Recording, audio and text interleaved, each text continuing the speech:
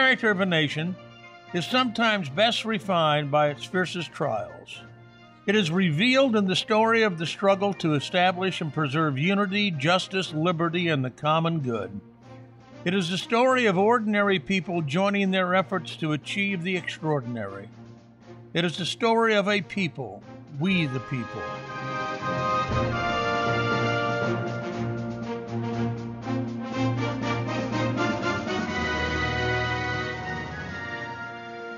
George Washington once said that he hoped to see America among the foremost nations of justice and liberality. Thankfully, many men and women have rose to embrace that challenge. One such man, Richard Allen, was born into slavery in Philadelphia on February 14, 1760. His family was sold to a Delaware farmer named Stokely Sturgis, who Allen described as what the world would call a good master. When Sturgis encountered financial troubles, he sold Allen's mother and three of his siblings, and Allen never heard from his lost family members again. Slavery, Allen said, is a bitter pill. His first step to freedom came at the age of 17 when Allen was converted to Methodism by a traveling preacher named Freeborn Garretson. I was awakened, said Allen, brought to see myself poor, wretched, and undone. Reverend Garretson did not stop at the conversion of the slave. He also pursued the master, preaching a sermon based on the biblical book of Daniel that warned slave owners that they would be weighed in the balances and found wanting on the day of judgment. My eyes were open. For the first time, I realized that owning slaves was wrong. My neighbors thought I was crazy. Letting slaves go to church, they said it would ruin them. But the opposite was true. The men worked harder. Religion made the slaves better, not worse. Financially, Sturgis could not afford to free Allen. Instead, he offered his slave an opportunity to buy his own freedom. Allen accepted his master's proposition and cut wood and did other jobs until he could finally purchase his emancipation. As a free man, Allen hauled a salt wagon from Delaware to Valley Forge during the Revolutionary War, even as he had become a licensed preacher in the Methodist Church. After the war, Allen traveled the East Coast by foot, spreading the gospel to racially mixed crowds. Allen's efforts gained the attention of Francis Asbury, the first American Methodist bishop. Asbury invited Allen to travel with him and preach to crowds in the South, but Allen wisely declined, sensing the danger in such a trip. Instead, he accepted the bishop's offer to preach at St. George's Methodist Church in Philadelphia. Allen's ministry drew new converts daily to St. George's, which in turn caused concern among the white leaders of the church as the number of African Americans on the membership roll steadily climbed. Also, there was the issue of segregation as the black congregants were forced to sit in the back of the church or stand and were excluded from the right to burial in the church cemetery. Allen tried to ease the growing tensions by suggesting that the African Americans establish their own church, but the church elders denied his request. During this tumultuous time, Allen, along with two preachers, other former slaves, and several Quakers, joined together to form the Free African Society, an organization providing aid to widows, the infirm, and the unemployed. Shortly after the Society's founding, the racial tensions that had simmered for years at St. George's came to a full boil. The congregation's growth spurred a need for additional seating so a balcony was built with a significant portion of the project's funding and labor contributed by the church's African American members. What the contributors did not know was that this addition was to be their new segregated seating gallery. What happened next changed the course of religious history in America. I just couldn't believe what was happening. We were all there. We were having a prayer. We were all on our knees and then we were interrupted. They came in, and at first they approached Brother Absalom. They grabbed him by the shoulder and they said, You have to leave. And I could still hear him saying, Wait till the prayer is over. But it didn't matter. They told him, You don't belong here. Allen left St. George's but remained a Methodist. In July of 1794, he gathered a group of 10 black congregants and converted a blacksmith shop into a church, using the anvil as a pulpit. The result was the Bethel Church and the formation of America's first independent black denomination, the African Methodist Episcopal, or AME Church. Richard Allen, as founder, was appointed the church's first bishop. A cause equally important to Allen was education. In 1795, he opened a school for 60 children, and in 1804, he established a society for the education of African American children. He fought tirelessly for racial equality and justice until his death in 1831, when he was remembered as one of the great divines who has lived since the apostolic age.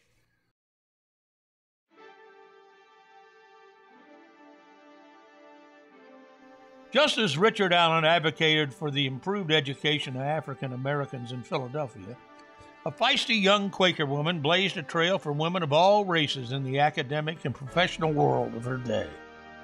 The town of Geneva in upstate New York might have been a small, quaint stop on the rim of Seneca Lake, but it had a remarkable spirit.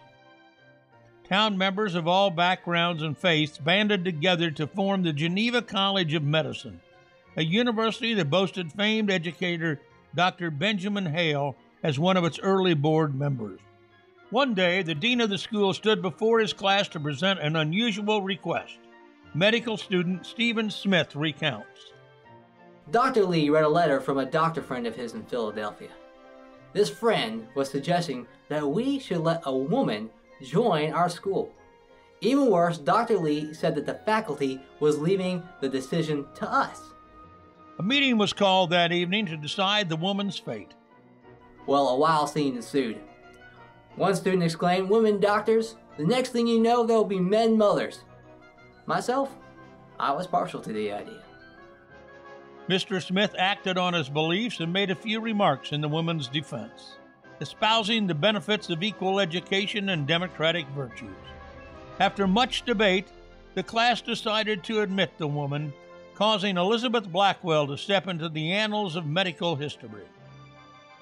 The students were surprised to see a beautiful yet primly dressed young woman walk into the classroom and assume her seat beside the instructor's desk and begin to take notes on the lecture. With each word, she was also rewriting history by setting a course for future generations of women to pursue their dreams of becoming a doctor. Blackwell graduated as the first woman with a degree of medicine on January 23, 1849. The ceremony was held in Geneva's Presbyterian Church, and upon receiving her diploma, she said to school officials, By the help of God, it shall be the effort of my life to shed honor upon your diploma. After her graduation, she went to Paris to gain experience in a maternity hospital. There, while treating a baby with an infectious eye, liquid from the baby's eye squirted Blackwell, causing her to go blind in her left eye. Her dreams of becoming a surgeon were dashed, but her spirit remained strong. Despite this tragedy, Blackwell wrote, I am not sad or discouraged at what has taken place, nor is my faith in the least shaken. See how beautifully the loving Father reconciles his special protection while maintaining his universal laws. He fills me with a spirit of hope and confidence that reacts continually against the disease and will finally cure me. Her heart's desire was to serve the poor, and so in 1857, Elizabeth, her sister, and another aspiring female physician opened the New York Infirmary for indigent women and children. The hospital was the first American training site for nurses and still is in existence today as the New York University Medical Center. During the Civil War, Blackwell trained nurses and was recognized by President Lincoln for her efforts. The war proved a difficult time for the infirmary, which treated runaway slaves as well as white patients from the South. Some of the hospital's nurses protested, saying, Our soldiers are fighting against these Southerners. Why should we try to heal them? Blackwell responded, In this hospital, we care for the sick no matter what side they represent. We are medical people and we have no right to judge our patients. After the war, Dr. Blackwell expanded her extraordinary vision to include a medical college for women at the infirmary. Once her legacy was firmly established, Blackwell moved to England in 1869 and lived there until her death in 1910.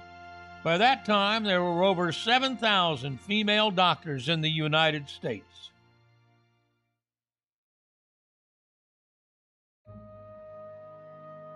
Richard Allen and Elizabeth Blackwell were outspoken agents of change in the fight to establish justice.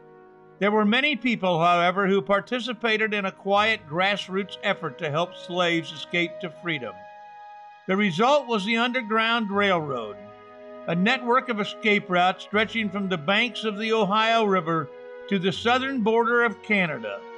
Blacks and whites, known as conductors, worked side by side, assisting escaped slaves to flee north and defying the laws against aiding and abetting fugitive slaves at the risk of personal injury, arrest, and death. One of these conductors was a former slave named John Parker, who purchased his freedom and moved from Mobile, Alabama to Ripley, Ohio. In addition to leading over 1,000 slaves to freedom, Parker started his own foundry and was one of the few African Americans of his day to receive a patent, three in fact, for various mechanized inventions. Author and composer Rick Sowash tells his story. On a moonless night about 150 years ago, John Parker rowed his rowboat across the Ohio River, tied it up on the Kentucky side, and made his way along the dusty country roads of Kentucky. Past sleeping farmhouses he went till he came to a farm owned by a man named Schroff. Old man Schroff was a slave owner. Parker knocked on the door of the cabin where the slaves lived. The door opened, and there was the father of a little slave family. Parker said, Come on, tonight's the night. Gonna help you escape the Underground Railroad across the river and north to Canada and freedom. The father made a strange noise. Sounded as if he was laughing. Parker could not see his face, it was too dark. The noise came again. Parker thought maybe the man was choking. And then he realized the man was not laughing, the man was not choking, the man was crying. What's wrong? Parker said. The man's wife came, she explained. She said, We're not going. You're not going? Why not? He said, Everything's ready. We're not going, she said, without our baby. Well, where's your baby? And then she told how old man Schroff was afraid they might run off. Every night about supper time, he'd come to their cabin, take away their only child into the big house where he lived, put the baby on a pillow on the floor of his bedroom up on the second floor, next to a lit candle and a loaded pistol. Just let them try to get that baby and escape. He knew they would never run off without their only child. Parker had not expected this. He tried to think what to do. And then he made up his mind. He said, When I come back, you be ready to run. He slipped through the cornfield and past the garden, up the steps into the kitchen of the big house, made his way up the steps, hoping the steps wouldn't creak. On the second floor, he saw candlelight coming out from underneath one of the doors. He opened the door, and there he saw, just like they said, beautiful little African American baby sound asleep on a pillow. The candle, the pistol. Parker tiptoed into the room, and then he saw the bed. Old man Schroff laying there sound asleep, his long white beard out over the blanket. Parker picked up the baby, pillow and all. He began backing out of the room, and he was just about to the door when, when the baby began to fuss. You've heard those noises that babies make? At such a moment, Parker looked, and Old Man Schroff had heard the sound too. Old Man Schroff was blinking his eyes and sitting up in bed, and Parker knew he only had a few seconds. He held the baby to his chest. He threw the pillow at the candle, knocking the candle over and making the room go dark. Out the door and down the steps he went as fast as he could, and Old Man Schroff jumped up out of bed. He started yelling. He said, The slaves are trying to escape! The slaves are trying to escape! He found his pistol and fired it off right through the ceiling waking up his sons. They come tumbling up out of their beds, pulling on their boots and grabbing their pistols. Parker was running through that cornfield, carrying the baby back to the cabin. The mother, the father, the three of them took off running down those dusty country roads back to the river. They jumped in the boat. Parker untied the rope and began pulling on the oars, and soon they were out on the Ohio again. There was the dark line of trees in the Kentucky side, but all of a sudden, what was this? Bright orange spurts of light there amongst the trees, followed by the sound of the crack of pistols. It was old man Schroff and his sons. They were firing their pistols at him. Parker said, Get down, get down. Down. The mother and father lay down flat in the bottom of that boat, and Parker bravely sat there pulling on the oars, pulling on the oars, and hoping none of those bullets would hit him. Oh, they came close. He could hear the bullets whizzing past his ears, but none of the bullets hit him. He got that family out into the fog that was coming up on the Ohio and safe and sound back over to Ripley, where the Rankins and others who were like John Parker was, conductors of the Underground Railroad, helped that family to find their way north, traveling by night, hiding by day across Ohio to Canada, where they could be free.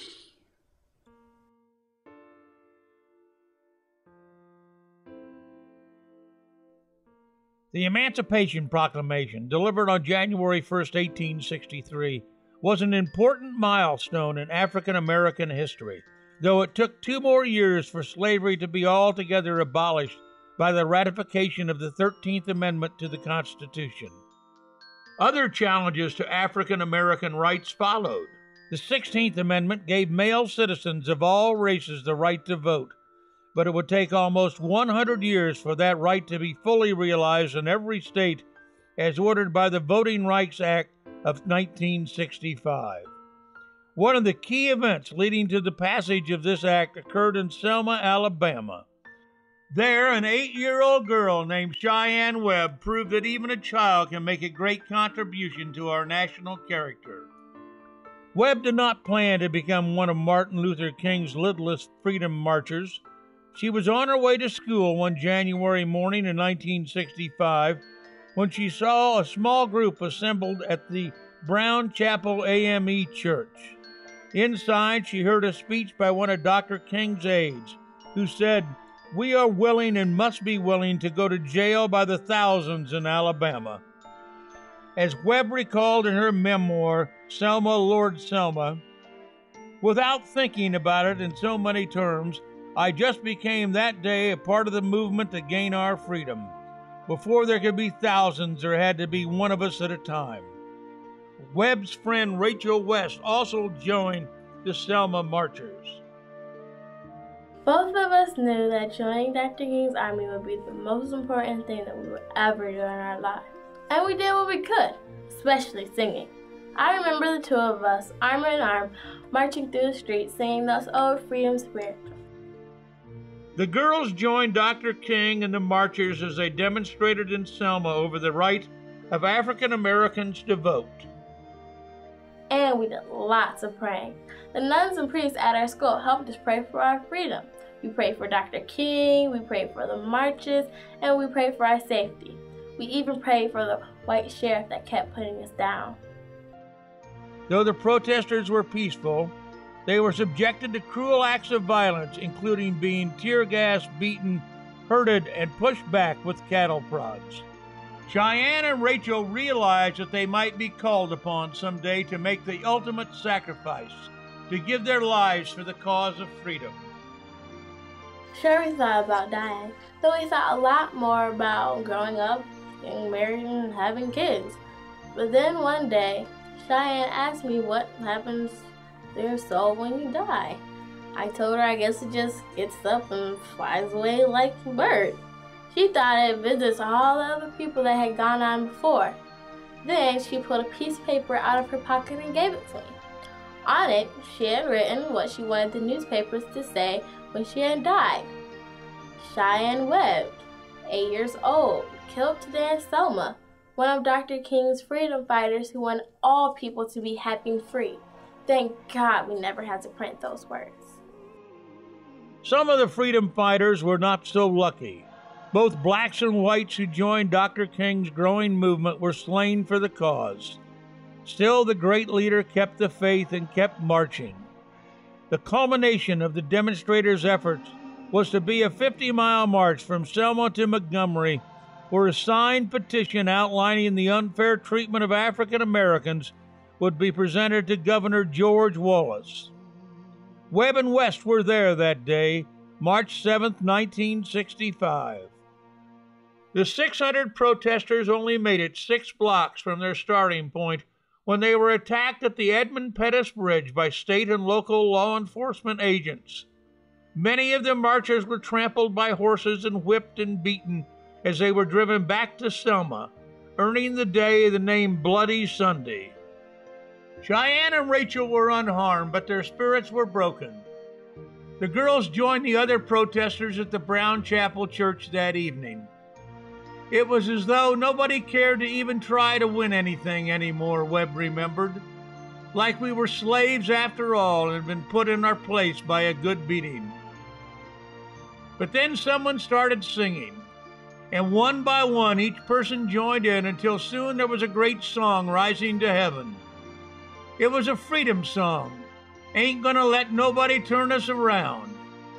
Sheyann and Rachel added their voices too and vowed to keep soldiering in Dr. King's army. Outside the church, news of the day was spreading across the country. Ministers and priests flocked to Selma to join the cause. Many struggles ensued, including the murder of several protesters.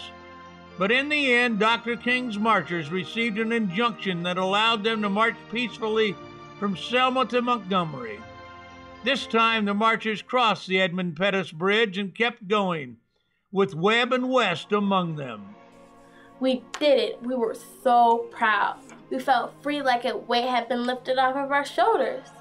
After a few miles, Dr. King saw Shy and me and asked if we were going to walk the whole 50 miles to Montgomery.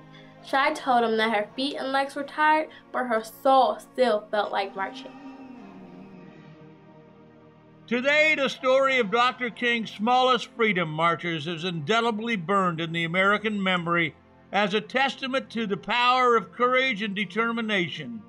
As Sheyann once said, we were just people, ordinary people, and we did it.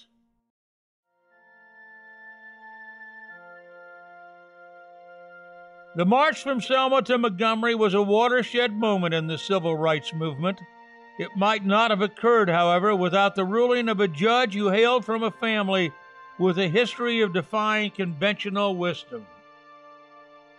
Frank Johnson Jr. was born the first of seven children and grew up in the hills of northwest Alabama. His grandfather, James Wallace Johnson, joined about 500 other men from his native Winston County in fighting for the Union during the Civil War. Frank Jr. carried on his family's proud military tradition, serving under General George S. Patton. Johnson arrived at the beach at Normandy shortly after D Day, and during his tour of duty, he was injured twice, including a bullet to the left leg and an exploding shell that embedded shrapnel into his chest. After his service abroad, Johnson returned home and began practicing law in Jasper, Alabama in 1946. He was serving as U.S. District Attorney when President Eisenhower selected him in 1956 as a judge for the U.S. District Court for the Middle District of Alabama. It was in this role that he had a great impact upon the civil rights movement. Judge Johnson had only served the district court a short time when three African American women were arrested for sitting in the front of the bus in Montgomery, Alabama. One of the women was Rosa Parks, who was jailed and fined $14 for the offense. The episode prompted Martin Luther King Jr. to organize a boycott of the city's bus system a three judge panel was established to rule on whether the state statutes violated Mrs. Park's constitutional rights. Judge Johnson ruled in her favor, along with Judge Richard Rives. In 1965, it was also Judge Johnson that ruled in favor of allowing the Voting Rights March from Selma to Montgomery. Former law school classmate and Alabama Governor George Wallace asked for a court order prohibiting the march, stating that it would only lead to more violence. The judge disagreed and issued the ruling that guaranteed the right to march to King and his followers. The judge would later say that he was not hired to be a moral judge or a preacher or an evangelist. He was hired to apply the law. Johnson's commitment to the rule of law did not always agree with the constituents of his district.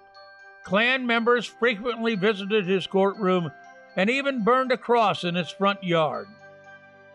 Johnson's mother also once received a bomb in her carport. If you think I'm going to cave in on something like this, the judge said, You better go get you something else to look for. No way. If I can't do what's right, I'll quit. Judge Johnson was not a quitter. He overturned an Alabama law that prohibited African Americans from serving on juries. He ordered the desegregation of over 100 Alabama public schools, and he issued decisions that led to prison and mental hospital reforms. One of the greatest testimonies to the impact of Frank Johnson's life was the respect he earned on both sides of the aisle. Calling himself a conservative hillbilly, this former Sunday school teacher was a lifelong Republican he received appointments from Jimmy Carter and the Presidential Medal of Freedom in 1995 from Bill Clinton. Despite many accolades, Judge Johnson remained humble about his achievements, honoring those who wrote the foundational laws of our nation. I am not a crusader, Johnson once explained. How can you be a crusader when you are not doing anything except taking the facts that someone else has created and applying the law that exists. Daniel Webster once said, Justice is the greatest interest of man on earth. Men and women like Richard Allen, Elizabeth Blackwell, John Parker, Sheyann Webb, and Frank Johnson Jr. have endured personal risk and sacrifice to further the cause of justice in our history. Many more have and will follow in their footsteps, ensuring that the duty to establish justice as prescribed in the Constitution will continue for future generations.